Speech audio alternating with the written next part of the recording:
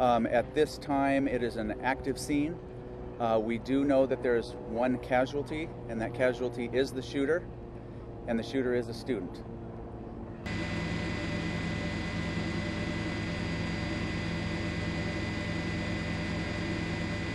We are not aware of any other injuries at this time, but that has not been confirmed because we are still clearing the buildings at the school.